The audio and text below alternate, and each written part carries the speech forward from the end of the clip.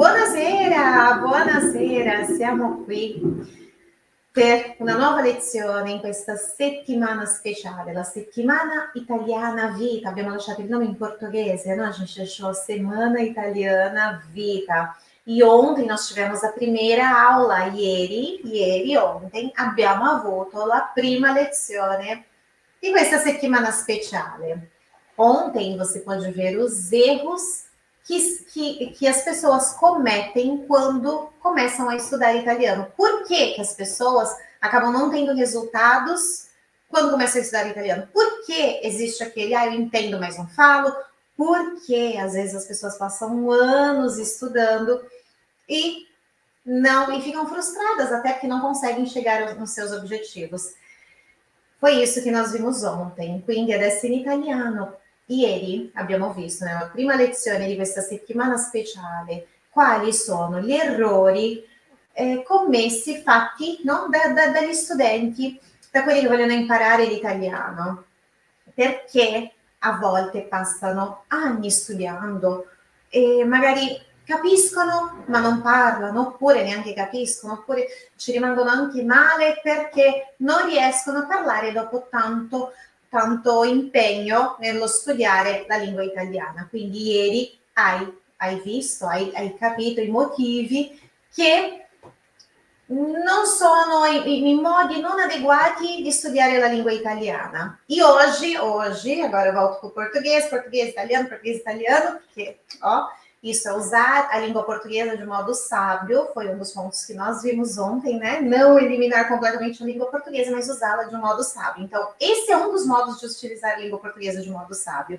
Quindi, qui parliamo in italiano, parliamo in portoghese, perché? Perché è importante utilizzare la lingua portoghese, che è il codice che conosci, è la tua lingua madre, utilizzarla in modo saggio, perché? Per imparare l'italiano perché così si riesce a imparare anche più velocemente questa bellissima lingua che è l'italiano. Quindi eh, proseguiamo oggi, oggi, allora, eu falo sempre sobre um aprendizado natural da língua italiana, sobre imergir. Nós vimos, né, que, que é necessário que seja prazeroso, não uma obrigação, que estão trocando, que era para ser natural, virou tradicional, e o que era para ser tradicional enfim, é o que há hoje quando as pessoas vão aprender uma língua. Mas hoje, na aula de hoje, é uma aula básica, ou seja, aqui nessa aula, seja para quem está começando, que nunca estudou a língua italiana, seja para quem já conhece um pouquinho, mas quer dar uma repassada nesses conceitos, vai ser muito importante. Hoje nós vamos ver os pronomes pessoais da língua italiana e nós vamos ver os dois verbos mais importantes da língua, tá bom? E no final é de exercício, por quê? Perché l'apprendimento deve essere attivo e non solo passivo. Ti ontem nós vimos que é errado ter um, aprendizado somente passivo, não? O aprendimento passivo não va bene, bisogna avere anche um apprendimento ativo. Então, hoje a gente vai ativar aí esse aprendizado fazendo um exercício no final dessa aula. Então, lembrando, essa é uma aula básica? Porque quando você for imergir na língua italiana, você sabendo já esses conceitos básicos, tudo vai fluir muito mais rapidamente, ok? Então, a gente, eu disse que nós falaríamos sobre os pronomes da língua italiana. Compartilho a nossa lousa, quindi condivido lo schermo, sabe como se diz lousa? Se diz lavagna, lavagna, quindi condivido qua la nostra lavagna, che sembra più un quaderno che una lavagna, no? Lavagna. Você participou da aula das pronúncias da língua italiana, então você deve ter visto que isso daqui, ó, esse GNA é, tem o som de nha, né? Então isso aqui é lavagna, a nossa lousa. Então vamos lá. Os pronomes. E pronome della lingua italiana. Io, tu, lui, lei, noi, voi e loro. Esses são os pronomes da língua italiana. Todos eles são utilizados. Ah, Ana Paula, em português a gente não usa voz, né? Em um, alguns lugares a gente não usa o tu, em, e, e quase ninguém usa o vós. Pois bem, em italiano, todos são utilizados. Todos os pronomes são utilizados. Então é o seguinte. É, então aqui, hum, peraí, vamos, vamos agora aos verbos, né? Aos verbos mais importantes. Mas é, o que eu queria dizer, eu falo sempre aqui sobre formal e informal e tudo mais. Quando, eu não sei, você deve saber, que na língua portuguesa o você nasceu de um tratamento formal, né? Era voz, mecê, depois foi, foi mudando com o tempo até chegar em você e agora é quase um ser.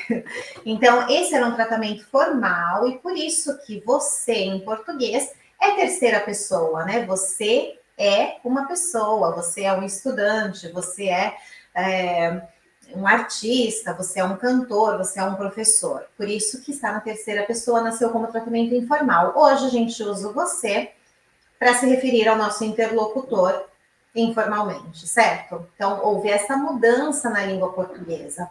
Na língua italiana, não houve a mudança com relação do informal ao, do formal ao informal. O que acontece?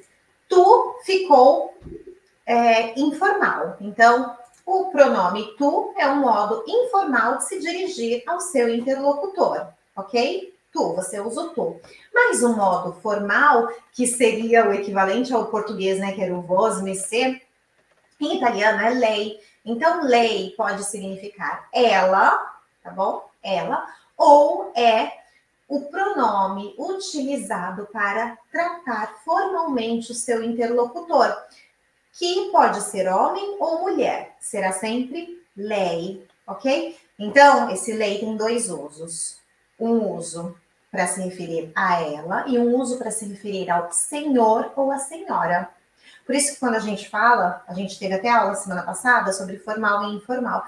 A única diferença do formal e informal é a conjugação. Enquanto aqui, isso aqui você conjuga em segunda pessoa, aqui você conjuga em terceira pessoa, porque é terceira pessoa. É lei, não? É ela. Então, é, ficou claro? Fácil, né? Fácil. Então, essa é a, a, a questão. E com relação ao voi, não tem nenhum segredo. O voi se refere a, seria o vocês. Quando a gente usa vocês, aqui se usa o voi. Então, vamos lá.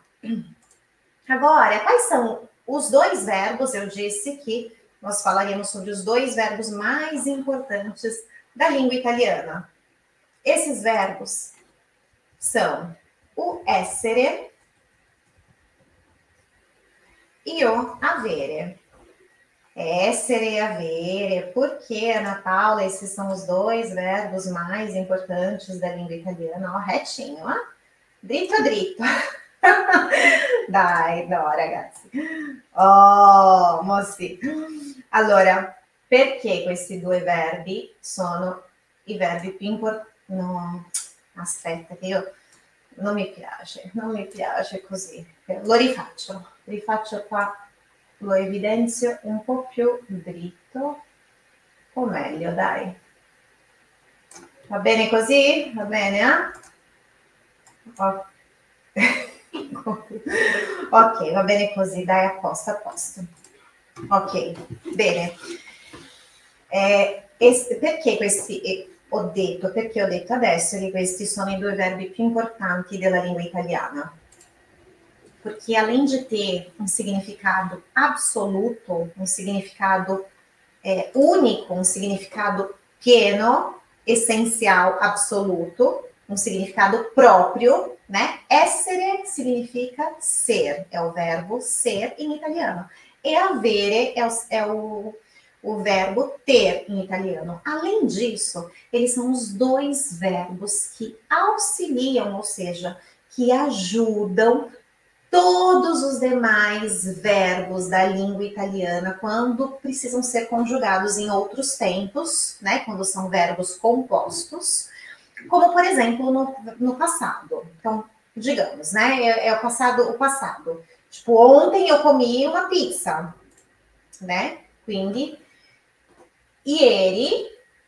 Opa, peraí. Ecco.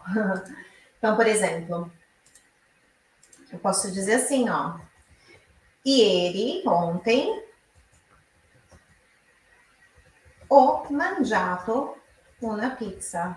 Ontem eu comi. Então, esse é um exemplo de uma conjugação que utiliza um desses dois verbos, essere ou avere, para formar o passado. Então, essa daqui é o, esse daqui é o passado em italiano. O mangiato significa comi, passado, tá? A gente vai ver agora qual que é. Será que isso aqui é essere ou avere? E depois, como escolher um ou outro? Qual verbo escolher? Isso daí, com o tempo, a gente vai vendo. Hoje a gente vai ver as conjugações, né? Porque hoje a gente vai permanecer aqui na, no, no, no, conteúdo básico para você memorizar bem e depois a gente, com o tempo, vai é, prosseguindo, né? Vai, vai fazendo com que as coisas uh, vai avançando aí no, conhecimento. Então é isso. Então, por isso que eu disse que esses são os dois verbos mais importantes da língua italiana. Além de um significado próprio, eles são os dois únicos auxiliares da língua italiana. Então, eles auxiliam todos os demais verbos em outros tempos, em outras conjugações. É, por exemplo, tu, não? sei uh, um cittadino italiano. Você é um cidadão italiano. Tu sei um cittadino. Não. Oh, caramba. Essa é, é a conjugação no presente. Mas eu quero uh, fazer no passado para vocês verem como ele pode ser utilizado como auxiliar, né? Sei stato um bambino, uh, um bambino, uh, un bambino cosa? Un bambino in gamba em gamba. Em gamba, literalmente, é. Gamba é perna em italiano, mas essa expressão em gamba é alguém capaz, é alguém que é bom em alguma coisa. Então, vocês viram, sei estado, você foi, isso daí é o passado. Ali ele foi usado não com o seu sentido absoluto, como, mas como um auxiliar. Detto questo, adesso vediamo é, coniughiamo questi verbi a tempo presente. Então, já está sabendo disso, só uma passadinha aí rápida. Agora a gente vai conjugar esses verbos em que tempo? No tempo presente. Vamos primeiro com o essere, mas aí a gente vai montando umas frases aqui para tudo se encaixar melhor. Então, io, io sono Ana Paula. Tu que sei. Quindi, Lila d'alta voce, como, como eu vou é, escrevendo, vão repetindo, se possível, em voz alta, isso faz toda a diferença. Tu sei, adesso sì, um cittadino italiano. Oh, eu queria dizer isso, né? Você é um cidadão italiano, então, eu sono, tu sei. Lui é il fidanzato, un noivo uh, della minha vicina. Ele é o noivo da minha vizinha. Lei é uma professoressa. Professoressa, ela é uma professora, lei é uma professoressa. Noi siamo amici. Nós somos amigos. Noi siamo amici. Voi siete, uh, voi siete dipendenti statali. Vocês são funcionários públicos. Loro sono, loro sono hostes. Loro sono hostes. Eu não sei, são, são exemplos espontâneos esses. sei de onde eu estou tirando. A criatividade aqui tá, tá que tá, né? Eles, eles são hostes, seria comissário uh, de voo, né? Aeromoça, eles ou elas, no caso loro, loro são eles ou elas. Muito bem. Então, io sono, tu sei, lui é, lei é. Noi siamo, voi siete e loro sono. Agora, vamos ao verbo avere. Então, como se conjuga o verbo avere? Vamos colocar aqui, ó, verbo avere. Então, io ho um livro interessante. Eu tenho um livro interessante. Lembra que o avere é o verbo ter. Não confunda com tenere. Esse verbo também existe em italiano, mas tem todo um outro significado. Quando você ouvir esse verbo tenere em italiano, não significa o avere, tá bom? Não significa ter, mas tem um outro significado. Então, aqui, avere é o verbo ter. Então, eu tenho um livro interessante. Tu hai un gatto e due cani. Você tem um gato e dois cachorros. Tu hai un gatto e due cani. Lui ha. Lui ha um filho. Um filho hum, carino, bonitinho. Lei ha. Uh, vediamo, vediamo. Ecco, sono esempi spontanei e non è che sono molto creativa oggi. Ah, lei ha, ecco qua, lei ha un paio di occhiali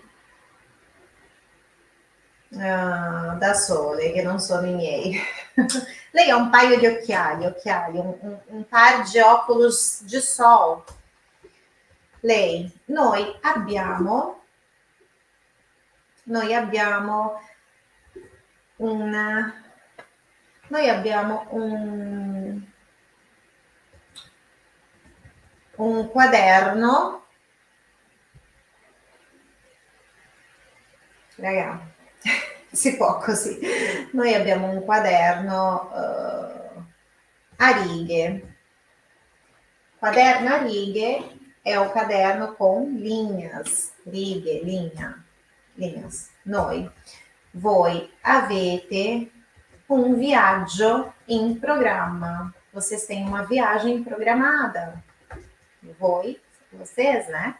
E loro hanno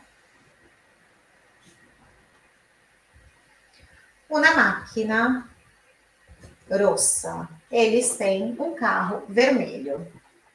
Ok? Então, o verbo haver, ou seja, ter, io ho tu hai, lui o lei ha, noi abbiamo, voi avete e loro hanno.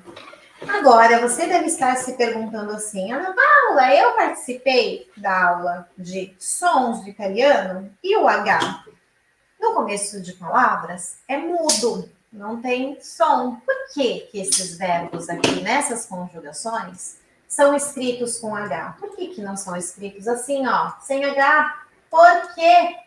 Ó, sem H, vamos tirar o H disso aqui, desses verbos, dessas conjugações, não precisa, afinal não são pronunciados. Realmente não são pronunciados. Esse H tem um valor, é um valor uh, escrito somente. Por quê? Porque justamente essas qual, por que, que esse tem H e esse aqui não tem H? Por exemplo, abbiamo não tem H e avete não tem H. Simples, porque avete e abbiamo não tem outro significado em língua italiana que não seja esse daqui. Não, não existe essa palavra com outro significado. Por outro lado, por exemplo, o é o tal do ou no italiano. Por exemplo, é, preferisci gelato al cioccolato ou alla vaniglia. Você prefere o sorvete de chocolate ou de baunilha? Esse o seria o ou. Então, na linguagem escrita, para não haver confusão, foi-se inserido esse H na conjugação do verbo avere, porque ele tem outro significado na língua italiana sem o H. Ai ou a são preposições. Então, aqui, ó, precisa do H porque senão ele tem valor de preposições, né? Vado a casa. É, deixa, deixa eu vado a casa, vou vou para casa, né? Vado a casa de minha, de minha filha. Vado a casa de minha filha. Vou à casa da minha filha. Uai, uh, darò un, un consiglio ai miei amici. Tá vendo? Sem o H, vem aqui, Bi. Scusate un attimo, imprevisti. Vieni qua. Darò una mano a mia figlia che si è intrecciata qua i capelli. Solo un attimino, scusatemi. Ok, Bi, che è successo qua? E no, io non capisco perché te li sei lisciata i capelli oggi. No. Eh, ma perché? Sono così belli. Eh, Bi, aspetta, aspetta, aspetta. Allora, io continuo intanto. Darò un consiglio ai miei amici. In questo caso, ai, neste caso aqui, esse ai não é solo dolore, não? Ai, aia, mas é também um, uma preposição. Neste caso, ai minha amiga, é preposição. Então, quando você vai conjugar, só no attimo, É, é, troppo qua. Quando você vai conjugar no presente do indicativo, Bi, puoi aspettare un attimino? Uhum. Perché sarà difficile da togliere questa, questa spazio. Scusatemi. Quando você vai é, conjugar no presente, então esse é o motivo pelo qual existe o H aqui, tá bom? Nessa conjugação. Ah, aqui, por exemplo, loro hanno una macchina rossa. Por quê? Porque é loro hanno com H, porque sem o H, isso daqui é ano, não? Em que ano sei nato? Que ano você nasceu? Né? Isso significa ano. E, por outro lado, com H é a conjugação. Então, não tem som, a palavra foneticamente é exatamente igual a essa outra palavra, com esse outro sentido, porém, é, na linguagem escrita, né, no, escrito ao H, para ter essa diferença aí. Tá bem? Ci siamo? Ci siete? Tudo bem? Era isso. Agora é o seguinte, repassando aqui, né? Io sono Ana Paula, Repita, por favor, em voz alta, facciamo l'apprendimento ativo. Em voz alta é importante para você. Às vezes a gente mentalmente pensa de um jeito, mas quando a gente fala, o som é diferente. Então, fala, em, diga em voz alta, né? Aqui você coloca o seu nome. Se não ficar, eu, eu sou Ana Paula. Ah, uma última observação. Como em português não é necessário todas as vezes pronunciar o, o pronome, dizer, né? Então, você não precisa dizer io sono Ana Paula. Sono Ana Paula, sei um cittadino italiano. No caso, lui, muitas vezes precisa, mas quando é necessário, se usa. Quando não é necessário, não é. Não precisa uh, pronunciar aqui os pronomes. Então, io sono Ana Paula. Toca te. Isso. Tu sei um cittadino italiano. Toca te, em voz alta. É a sua vez. Lui il fidanzato della mia vicina. Ele é um noivo da minha vizinha, toca a te ad alta voce. Lei è una professoressa. Professoressa, nada de professoressa. Professoressa, olha aí que é com S, igual em português. Ad alta voce, toca a te. Noi siamo amici. Toca a te. Voi siete dipendenti statali. Toca a te, não sei porque isso me vem em mente. Vocês são funcionários públicos, né? Loro sono hostes. Elas, ou eles são, elas são comissárias, né? De bordo. Eles são comissários de bordo. Toca a te, hostes. Adesso il verbo avere Ripeti ad alta voce, ripeti in voz alta, io ho un libro interessante. Molto bene. Tu hai un gatto e due cani. Isso aí. Lui ha um filho carino. Tem um filho bonitinho. Ele tem um filho bonitinho. Tocca a te, in italiano, ad alta voce. Lei ha um paio de occhiali da sole. Ela tem um par de óculos de sol. Tocca a te, ad alta voce. Noi abbiamo un quaderno a righe. Nós temos um caderno com linhas.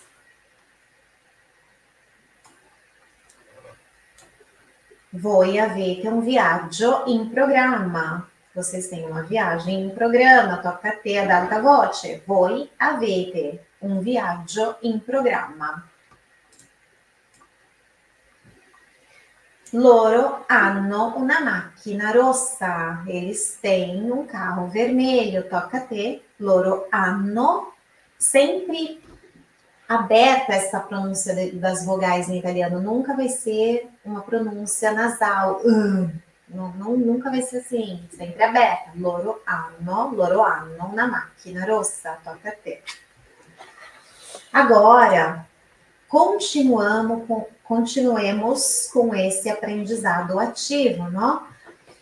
Proseguiamo con l'apprendimento attivo, como? Agora você vai fazer o seguinte, vai pegar seu caderno, quindi prendi, ecco, aspetta, prendi il tuo quaderno, pega o seu caderno, prendi il quaderno e adapte essas frases para a sua vida, como? Escreva todos os pronomes, né? Então vamos lá. Io, lembra? Quais são? Tu, lui, lei, noi, voi e loro, ok? E aí você é, faça a conjugação no presente dos verbos essere e avere, adaptando a sua vida. Então, por exemplo, você coloca io sono e coloca a sua profissão. Ah, mas eu não sei. Dá um Google. Dá um Google aí e procure, né? Como se diz em italiano aquilo, cinco minutos. Isso vai ser você estudar cinco minutos e adaptar essas, essas frases à sua vida, tá bom? Então, por exemplo, você coloca io sono, io sou profissão, tu sei. Fale de mim, tu sei. Faz conta que vocês estão falando comigo, tu sei. Não? L'insegnante di italiano, tu sei uh, uma donna, uma mulher, tu sei uh, un italo-brasiliana e por aí vai. Criatividade nesse momento, bisogna essere creativi adesso. Lui, lei, enfim, use todos os pronomes e adapte a sua vida, depois com o verbo avere. Io ho un cane, eu tenho um cachorro, ou io ho un lavoro, eu tenho um trabalho. Tu é, hai, não? Hai um canal YouTube, você tem um canal no YouTube, aí um canal no YouTube. E por aí vai. Então, faça isso. Não pule essa etapa. Adapte a sua vida, porque mais cedo ou mais tarde você vai usar isso. Tente imaginar situações em que você poderia usar isso. Dessa maneira, o aprendizado não só é mais agradável do que ficar estudando ali, né? Ai, as regrinhas, aqueles, aqueles diálogos que às vezes não tem sentido nenhum, que você vai esquecer amanhã. Mas se você adaptar a sua vida, imaginar uma situação em que, por exemplo, você vai vir aqui à Itália e aí você vai estar falando com alguém ou pedindo informação, né? É, né, dando, falando sobre você, o que você tem, o que você é, o que a sua família tem, o que a sua família é. Então, adaptando isso à sua vida é muito mais prazeroso e muito mais fácil de você memorizar. Por quê? Porque isso, fazendo isso, você tem um coinvolvimento, um envolvimento emotivo. Você está envolvido emotivamente e isso ajuda sim a memorizar. São fatores essenciais para o que a gente viu na aula de ontem sobre erros que se cometem ao aprender italiano. Então, você viu que isso envolve, né? Aprender assim, por aprender não é legal, é um dos erros. Se você não assistiu, assista a aula de ontem, porque está tudo muito bem explicadinho lá. E amanhã, amanhã tem a segunda aula mais importante dessa semana. Ah, é amanhã. Amanhã você vai ver como, né? Você, onde você viu os erros. Amanhã você vê os acertos, como você vai fazer, né? Tintim por tintim. Um estudo do italiano que seja proveitoso para você, para que você consiga falar com naturalidade em oito meses ou menos, dedicando 30 minutos por dia. Então, amanhã, ó, tá tudo explicadinho, bonitinho. Você vai ver que vai valer a pena você assistir essa aula. Então, a gente se vê amanhã. Link sempre no canal, no, no grupo do WhatsApp, tá bom? Então, se você ainda não está participando, está assistindo essa aula, mas não está participando oficialmente do evento, entre no grupo do WhatsApp, que está aqui na descrição desse vídeo, vou deixar também nos comentários, para você receber material complementar, para você receber os links, para você receber todas as informações, inclusive sobre o nosso próximo grupo de italiano. Né? Quem quiser ser o meu aluno, quem quiser ter a mão ali, ó, eu pegue na mão e acompanhe nesse processo de aprendizado do italiano, como muitas outras pessoas já aceitaram o convite, hoje estão falando naturalmente italiano. Então, entre no grupo para ter mais informações, ok? Ci vediamo domani, mi raccomando, non mancare alla lezione di domani, não falte na aula de amanhã, que é super importante. E se você não assistiu a aula de ontem, assista, assista e assista. É essencial se você quiser aprender italiano com naturalidade, ok? Ci vediamo. Um bacione. Ciao!